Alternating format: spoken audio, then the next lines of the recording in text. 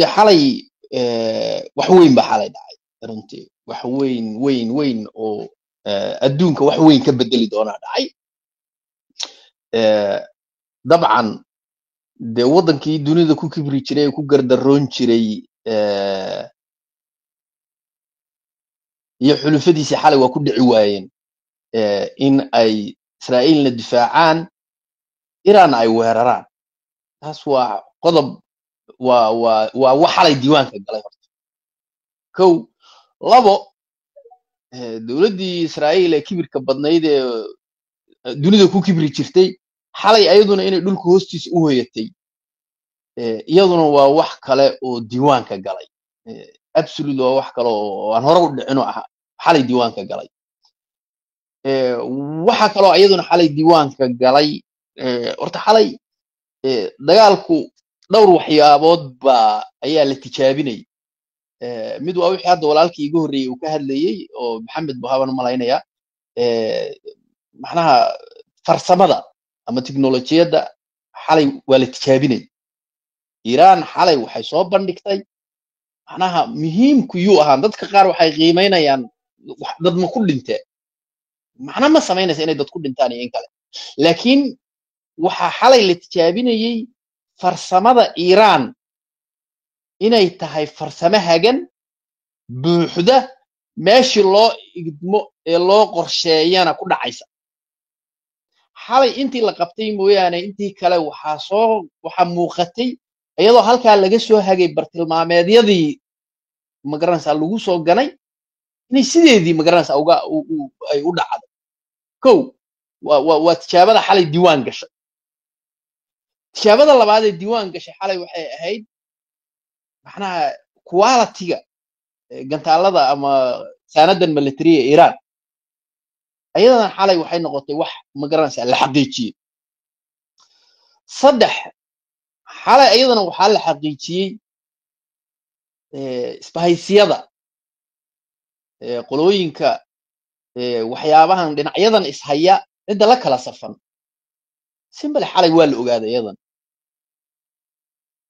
labo urur maxaa la yihahdaa ururada dawliga ah ka mid a xalay mowqifkoodu wuu caddaa say u kala aragti duwan yihiin nato xalay say u kala aragti duwanayd absolute mowqif waa arrintaas way cadday oo waxaan ka war haynaa dalal badan inay ku dhawaaqeenba inay dee moogtahay waxaan wax loo sii dul qaadan kara aysan ahayn oo ay diyaar u yihiin inay aqoonsadaan dowladda falastiin oo ay ka mid ahaayeen irishka iyo ireland iyo iyo iyo qolada la yidhaahdo norway maybe kuwo kaloo aanan aragna de inay inay iyaguna sidaas kale ay ay yidhaahdeen. Taasi marka waxay ahayd fariin ah inaysan raalli ka ahayn qaabka israa'iil u dhaqmayso. Sidaas si lamida turkigu de waabatuu asagu hawadii ka xidhay.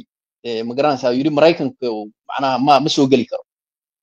Iyaduna waxay ahayd fariin cad oo muuqatay xalay arrinta kaloo iyaduna xalay muuqatay waxay ahayd in ruushku ay yidhaahdeen wadanayo halkaa turkiga aan su'aal kaasii weydiiyay adoo sii raacsanaya.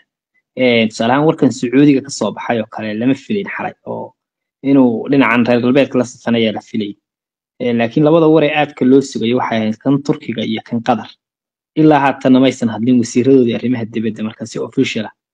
Marka ma oran karnaa sacuudigu janis weyn ba caawa xalay ka faa'iidaystay may xalay xalay qolooyin badan baa faa'iidaystay sacuudiga keliya maaha. Eg horta sacuudiga iyo waa u soo socday su'aasha macnaha turkiga iyo sacuudiga iyo waxay ka dib isugu dhigeen saan is leeyahay qatar iyo qatar iyo turkiga iyo waxay dib isugu dhigeen iyo dowlado kaloo badani maadaama iraniyiintu ay ma garanaysaa shirkii jaraa'ida iraniyiintu ay ku qabteen golaha ammaanka xafiiskooda ambashatoorkooda golaha ammaanka uu qabtay qaramada midoobey uu qabtay oo uu yidhi ma garanaysaa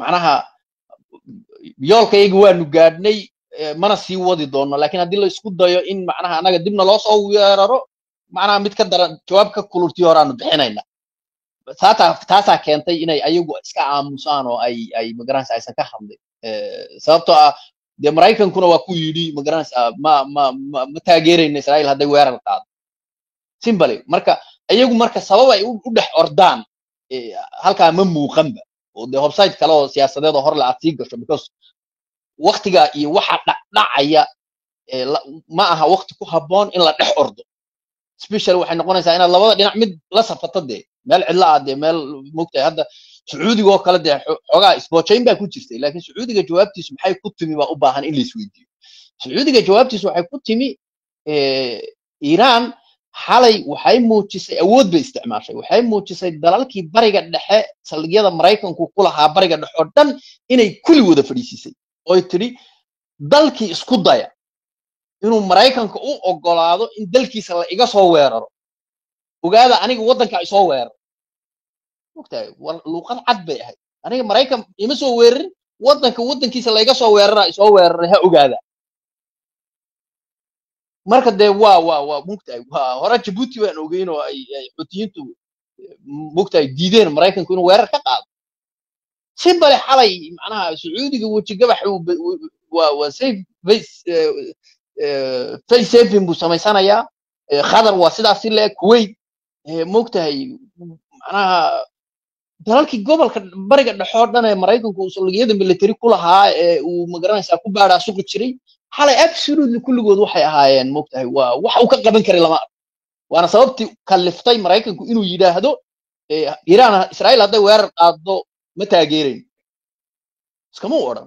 Dabcan culayska doorashada gudaha maraykanka laftigiisu way jirtaa oo qoladan biden iyo dee cadaadinaysa laftirkeeduna way og yihiin iraaniyiinta iyo iyo iyo iyo ruushka iyo iyaga laftirkoodu way ka faa'iidaysanayaanoo odaygan waalan bay rabaan inuu soo baxo sababtoo waxay rabaan maraykanku inuu dibugurashadii trump markuu talada haystay uu sameeyey inay sameeyaan oo ay waddankooda dib ugu noqdaan oo america first wixii uu wadan jiray odaygaas marka taasay rabaan marka waxay ku rabaan inay fariin u diraan dadka codbixiyayaasha maraykanka oo ay yidhaahdaan ma garanaysaa ogaada macnaha halkan dee waxba idinkama yaallaan dhaqaalihiin dhaqaale burbur bayna idiin keenaysaa. Marka fariintaana xalay way dirayeen. Wayna u diyaarsanaayeen sida muuqata dee iiraan xalay way badheedhay ruushkana wuxuu yidhi hadduu maraykan israa'iil u soo hiiliyo annagoo u soo hiilinaya. Kuwa. Marka xalay si fiican baa laysu tijaabiyey. Maraykanka iyo israa'iilna xalay waxaa muuqatay absolutely tamartooda in la tusay. Istaraatiijiyan in tamartooda la tusay.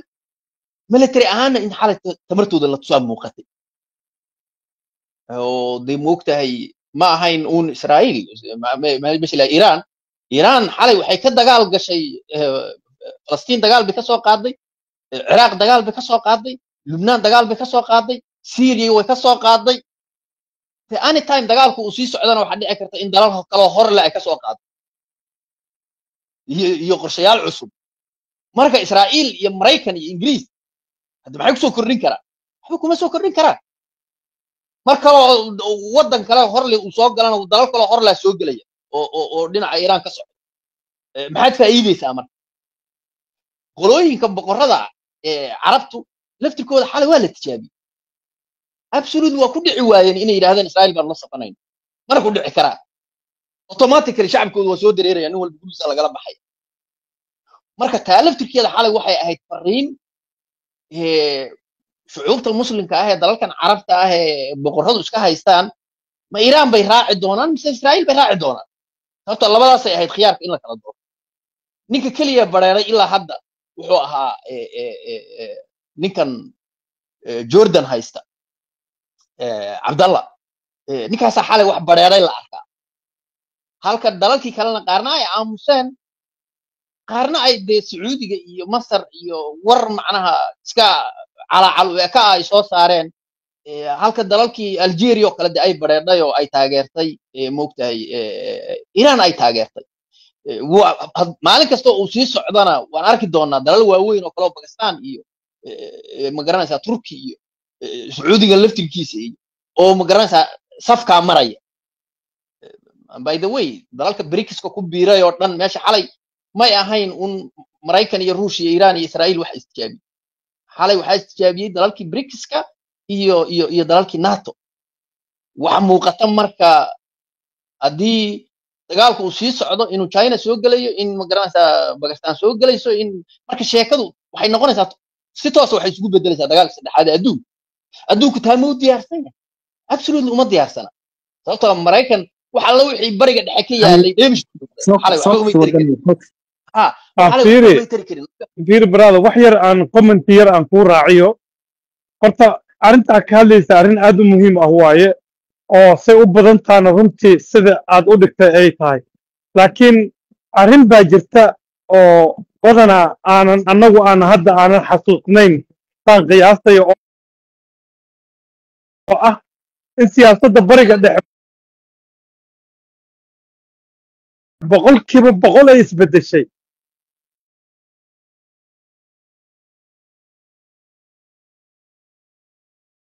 haysato ma jirto baraada waxaa arkaysaa inay walaal ka dhigteen iiraanti. Waxaa jira inay xiriir dhaqaale la yeesheen ruushka iyo shiinaha iyo iiraan iyo turkiga. Turkiga iyo iyo iyo sacuudigoo isku dhacsanaa hadda best friend waay. Marka siyaasaddan hadda aad noo noo sheegtay way jirtay laakiin mid hadda oo socota ma ahan. Siyaasadda hadda socota waxay tahay in sacuudigu uu tartiib tartiib uga kaaftoomay siyaasaddii maraykanka ee ahayd aniga ayaa ku hagaya. Sacuudigu sida uu eh, wiilkan yare u qabsaday isbeddel weyn baa ka dhacay. Aniga sacuudiga waan tegey dadka sacuudiyankana waa la sheekaystay waxyaalaha igu yaabka badnaa ee aan arkay waxaa ka mid ah inaanay u arkin iiraan cadow oo sanado ka hor aan dhehaynay cadowga koowaad ee sacuudiga ay leedahay iiraan waay marka arrintaas isbeddel weyn ayay waxay ka samaysay gobolka. Gobolkana waxaa hogaamiye saad ula socotiinba eh, sacuudigaa hogaamiye waa waddamadan gobolka ah. Waa sida imaaraadka qatar baxrayn iyo iyo maaragtay maxaan ku irahdahay iyo sacuudiga iyo iyo iyo cumaan waddankan jordan weligiisba ku siyaasad ma ahayn. Asiga weligiisaba dhilis wuxuu u ahaa waa ognahayoo weligood waxay daba joogeen ii sheeg en, eh, maxaan ku idhahdahay israa'iil. Dadka jordan deganna say u badan yihiin waa dad falastiin oo badankood ka soo qaxay laga soo qaxiyey israa'iil. Siyaasadda lagu dhaqo jordanna waxaa gacanta ku haya israa'iil. Dhaqaalaha xitaa waxaa ka kabta israa'iil waxaas dhan in la ogaado waayo. Marka anigu waxaan wax yar kaaga duwanaa waxa waaye cabsi umaysan dhihin sacuudigu xalay arrintan ay ka hadleen waxay u dhiheen kalsooni ay isku qabaan shakhsi ahaantooda isku qabaan iyo waagii horeeto way ka daba ordi jireen maraykanku wuxuu ku hadlo ayay ku hadli jireen. Maraykankii waxay u ahaayeen maaragtay afay u ahaayeen oo wuxuu ku hadlay ku hadli jireen. Hadda ayaga ayaa waxay ku hadlayaan wixii ayaga ay ku qanacsan yihiin oo ay rabaan. Marka arrintu siyaasaddii oo bariga dhexe sidaas ayay isku beddeshay arrintaasaan raba inaan inaan inaan ku daro. Waa mahadsantihin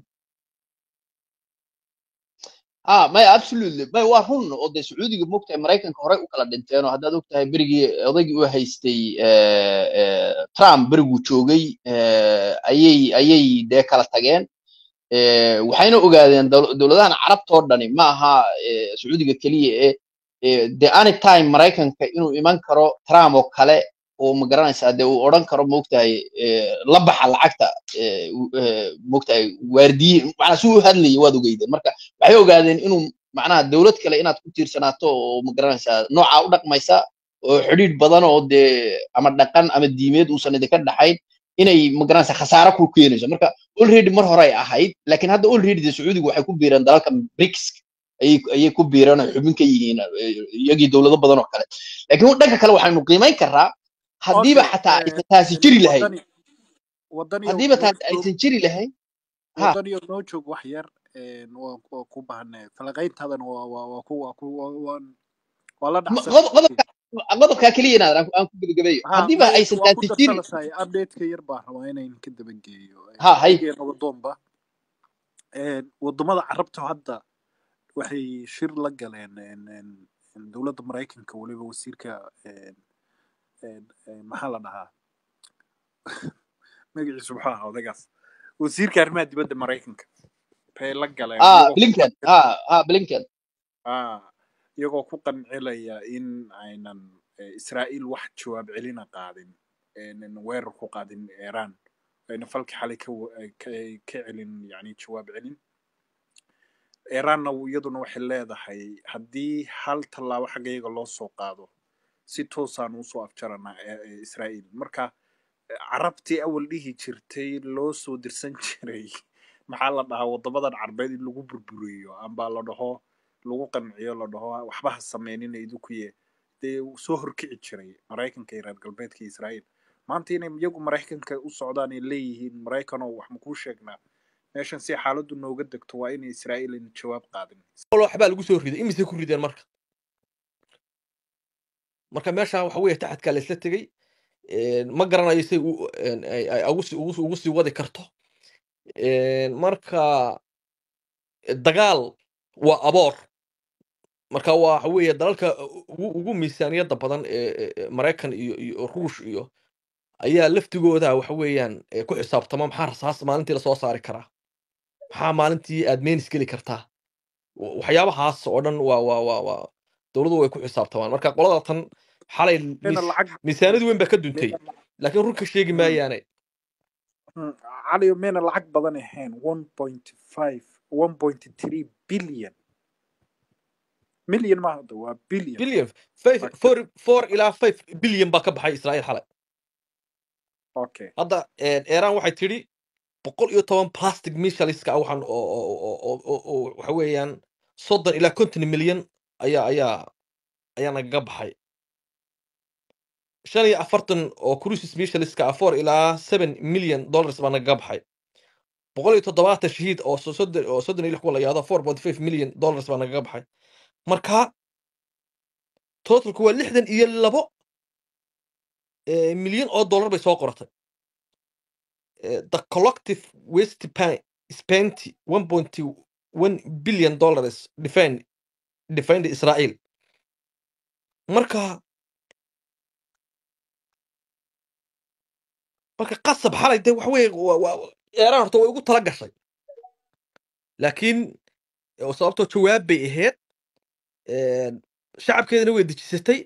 Hadda arrimaheeda kale iska wadanaysaa. Difaaceedana waa u xiran yahay meel kasta way ka hordiyaargarowdo hadda laba isbuuc bay ku qaadatay. Kowdii bisha ayaa amay baa la- weerarka lagu qaaday. Xalayna afar iyo toban bay ahayd. Marka waa laba isbuuc. Labada asbuuc waxay diyaarinaysay eh, siday marka u horeysay difaaceeda dalkeeda qarankeeda ay u difaacan laheyd oo u sugi laheyd oo ay raadaradeeda iyo defensigeeda ay u diyaarsan laheyd. Islamarkaana ay u diyaarin laheyd wixii ay de ku jawaabaysa ay cadowga u dirayso marka khubaradu siday inoo sheegeen baa waxu dhaceen eeraan inay ciqaab samaynayso marka waa idiin soo celiya waa mahadsantahay ha maxamed ibrahim haa eh, in yarun baan ku dari lahaa. Eh, horta waxa weeye waa run oo hal farqi baa jira. Waddanka iiraan wax kasta oo huba ay isticmaalayso waa homemade waa gurigay ku samaysataa Israelna boqolkiiba boqol dabaday kala timaadaa hubkan diyaaradahan gantaalahan. Farqigaas waa jira oo markaad suuqa maraykan ka soo iibsato f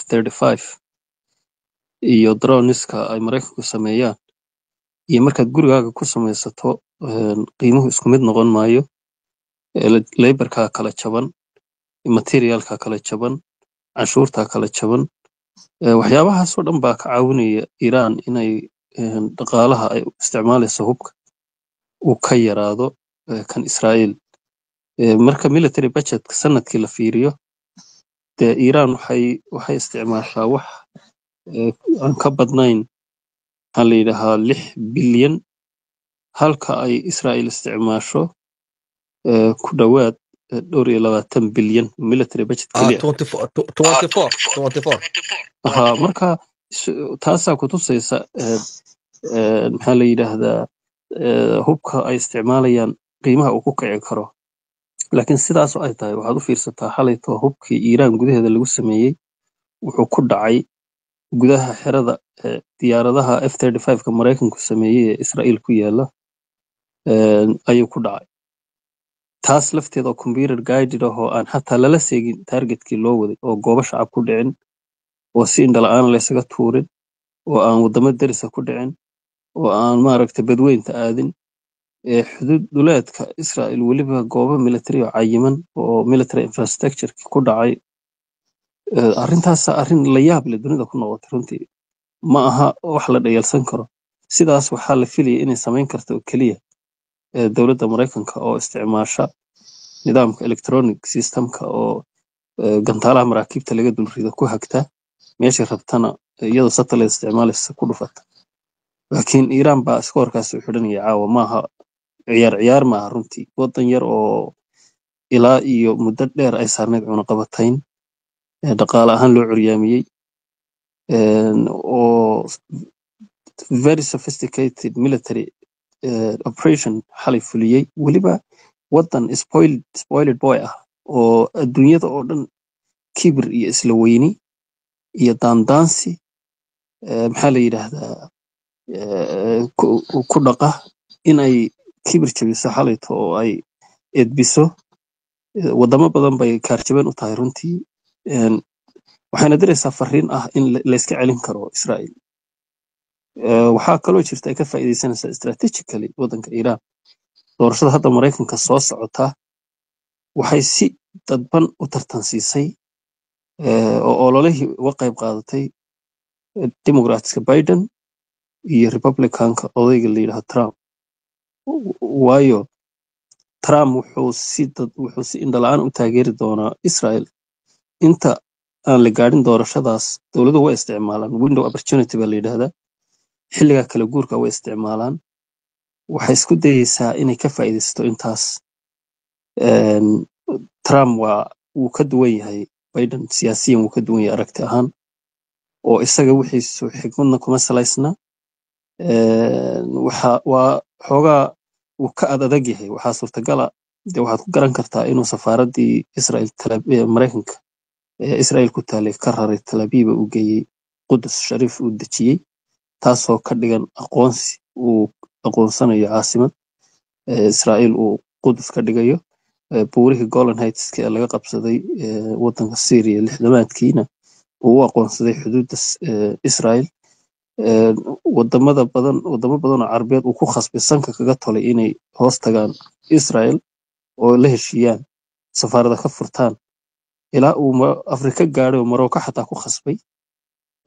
Marka wadan wadanka israel wadanka iiraan fursad weyn bay u tahay maanta inay jilbaha dhulka ugu dhufato damaca israel. Wadamadii carabeedna waad aragteenoo waxaa jawaabta la yaabka leh ee aan arkay waxay jawaabta sacuudi arabiya ka soo baxday. Badanaa waxaa lagu yaqaanay inay aamusaan ama ay iiraan ka soo horjeestaan. Xalay jawaabtii soo bixiyeen waxay ahayd de-escalation ama in maaragtay arrinta la dejiyo si dhexdhexaada ee amniga iyo nabadda gobolka laga wada shaqeeyo. Taasoo fariin xoog badan u diraysa runtii maraykan dowladda maraykanka. Oo inta badan ee, melmesha eh, waddamada gobolka bariga dhexe melmesha runtii turkiga waa la filayay oo markay ugu yartahay inay ka soo horjeesanayso maaragtay israa'iil. Laakiin waxayba ku dhiiratay inay maraykankii tiraahdo hawadayada ma mari kartid oo military operation kama qaadi kartid. Kuwait ciraaq oo ciidamada maraykanka degan yihiin in laga soo rido gantaalo oo erbil oo magaalo madaxda gobolka kurdistaan laga soo rido xataa aan la ogeyn inay halkaas saldhig sirdoon iyo gantaalo u yaaleen iiraan. Taas ayana arrin kaloo la yaab leh. Ah magaalada basra oo maxaa la yidhaahdaa ku taala xadka ciraaq iyo iyo kuwait in gantaalo si toosa u soo dul maraan gantaalaha iiraan laga soo riday iyadana la yaab kale ahayd runtii. Oo maaragtay maraykanka dee saldhig labadaa wadan oo dhinaca isku haya xataa basru degan yihiin basra lafteedu degan yihiin magaaladaas oo qunsuliyad bu ku lahaayo waan ka soo shaqeeyey wadanka ciraaq laba kun toddobiyo tobanka ay ugu dambeysay saldhig baa ugu yaalla halkaas. Maxaa la yidhaha qunsuliyadiisii walow markii dambe uu ka xidhay laakiin saldhig ciidan baa ugu yaalla basra kuwait buu degan yahay ciraaq buu meelo badan ka degan yahay oo erbil ka mid tahay baqdaad ka tahay.